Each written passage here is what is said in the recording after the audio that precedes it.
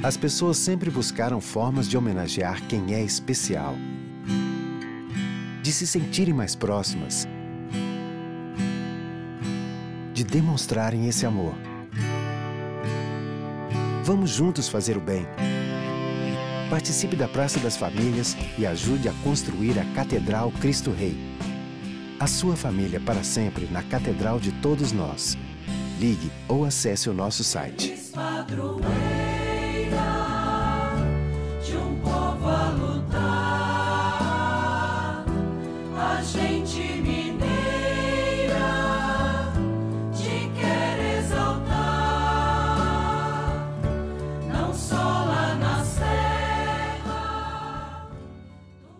Amado irmão, amada irmã, saúde e paz. Alegria da fé fecunde nossa comunhão, congregados aqui na comunidade orante, por graça de Deus, ao redor da amada Mãe Maria. Sua presença amorosa de mãe nos consola e é garantia de intercessão a Deus por nós todos nas necessidades de nossas famílias, da igreja e de nossa sociedade discípula exemplar. Maria nos inspira e nos convida agora à escuta da palavra santa de nosso Deus, interpelação que nos aponta o caminho, nos move na busca sincera da conversão de nosso coração e ilumina nossa consciência vocacional, despertando em nós o zelo e o ardor missionários. Vivamos este momento recordando o desejo de sermos tocados por esta palavra santa, para, escutando-a, dar a Deus a resposta que Ele nos pede, de modo muito especial, assim crescendo neste mês vocacional. Abra o seu coração e vamos juntos escutar com amor e sinceridade a palavra santa de nosso Deus. Naquele tempo levaram crianças a Jesus para que impusesse as mãos sobre elas e fizesse uma oração. Os discípulos, porém, as repreendiam. Então Jesus disse: Deixai as crianças e não as proibais de virem a mim, porque delas é o reino dos céus. E depois de impor as mãos sobre elas, Jesus partiu dali.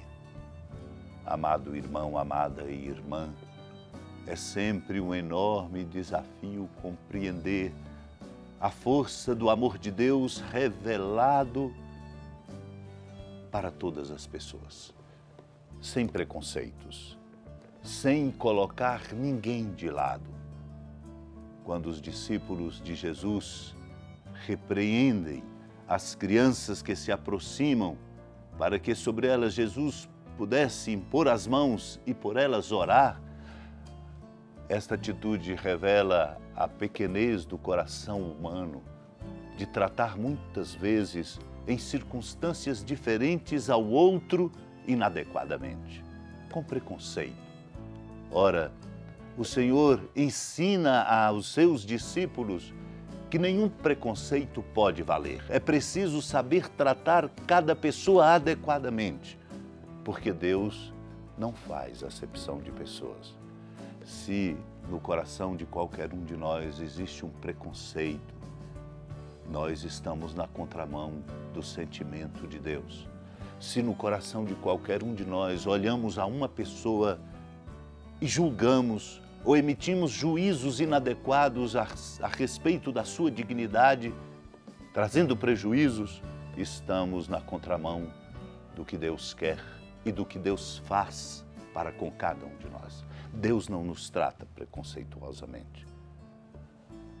Por isso, o Senhor chama a atenção dos discípulos, dizendo para deixar que as crianças dele se aproximem.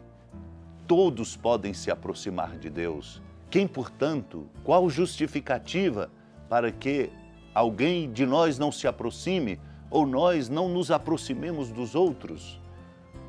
E Deus nos ensina mais é preciso sempre aprender e nos esforçar para nos aproximar dos mais pobres, dos que estão excluídos, dos pecadores, dos que precisam mais, porque é assim o coração de nosso Deus. E nós vivemos esta experiência bonita de sermos inseridos em Cristo pelo batismo, exatamente para vivermos a grandeza dessa experiência. São Paciano, um bispo do século IV, num sermão sobre o batismo, comenta assim: Como trouxemos a imagem do homem terrestre, levemos a daquele que vem do céu. Porque o primeiro homem da terra é terrestre e o segundo do céu é celeste. Lembrando São Paulo escrevendo na primeira carta aos Coríntios, no capítulo 15. E ele comenta como se pode ver a vida no mundo é a mesma para nós e para os animais, as feras e as aves. A vida deles pode até ser mais longa do que a nossa, mas o que é próprio do homem que Cristo deu por seu espírito é a vida perpétua, contando que não mais pequemos. Portanto, Deus nos trata de maneira muito especial e nós não podemos, entre nós, reciprocamente, nos tratar na contramão do sentimento de Deus. Porque, diz São Paciano, como a morte se encontra na culpa e é evitada pela virtude, assim o mal faz perder a vida, a virtude, no entanto, sustenta. Portanto, irmãos e irmãs, aprendamos e cultivemos olhar a cada irmão com respeito, jamais com preconceito, e limpar o próprio coração de todo tipo de preconceito, para que nós possamos estar numa união mais profunda com o coração e com os sentimentos de Cristo Jesus. Amado e amada de Deus, iluminados pela palavra de Deus que amorosamente nos conduz luz para nosso caminho e lâmpada para nossos pés, Confiantes na intercessão da amada Mãe Maria, renovemos nossas preces e súplicas, recordando-nos dos pobres e dos enfermos, dos sofredores, de nossos familiares e de todos no exercício de suas responsabilidades nesta importante tarefa nossa de construirmos uma sociedade mais justa, fraterna e solidária. Oremos por aqueles que nos pedem orações, por aqueles que precisam das nossas orações e por aqueles pelos quais temos obrigação de orar também. Senhora da piedade, Mãe Virgem do Cristo Deus. Lembrai-vos, ó piedosíssima Virgem Maria, que nunca se ouviu dizer que alguém daqueles que, tendo recorrido à vossa proteção, implorado a vossa assistência e reclamado o vosso socorro, tenha sido por vós desamparado. Animado com igual confiança, vós recorro, ó Virgem das Virgens, e gemendo sob o peso dos meus pecados, me prostro a vossos pés. Não desprezeis as minhas súplicas, ó Mãe do Verbo encarnado, mas dignai-vos de as ouvir propícia e de me alcançar o que vos peço. Amém.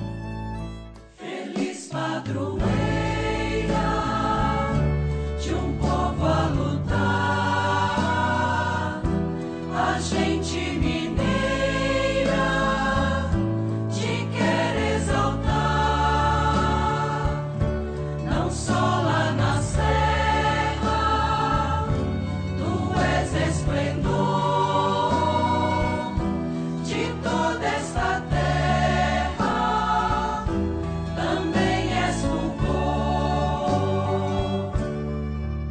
alegria da ermida da padroeira do estado de Minas Gerais, a Senhora da Piedade, que da sua casa de clemência e bondade nos acompanha e nos abençoa do alto da serra, magnífica arquitetura divina, a bênção de Deus, amor misericordioso, Pai, Filho e Espírito Santo, desça sobre sua família, sustente sua vida, zele por sua casa, fecunde o caminho missionário de nossa igreja, nos encha de sabedoria e permaneça conosco para sempre. Amém.